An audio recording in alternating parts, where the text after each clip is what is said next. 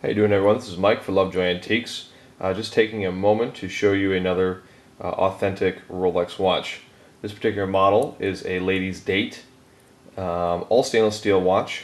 It's a vintage model. As you can see we have all the original box and paperwork. It looks like this watch was purchased in Maryland at a Bailey Banks and Biddle originally. And again we do have the original documentation in box, uh, which is uh, very rare with, with this age of, of a watch. So, uh, the watch is in, in, fair condition considering its age.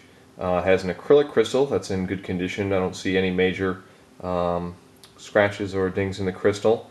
Uh, the watch is running well, well and keeping good time. Uh, as you can see, there's a fair amount of stretch in the bracelet.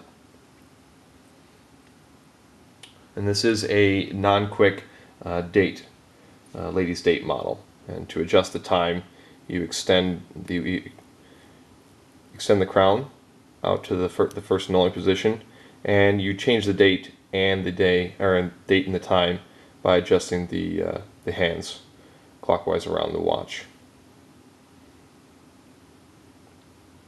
And to finish, you screw in the crown.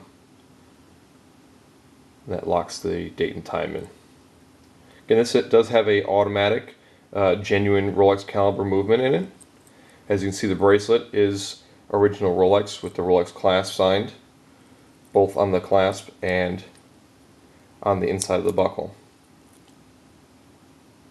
As you can see there. You can see a little better on our, on our high resolution photos we posted on the listing.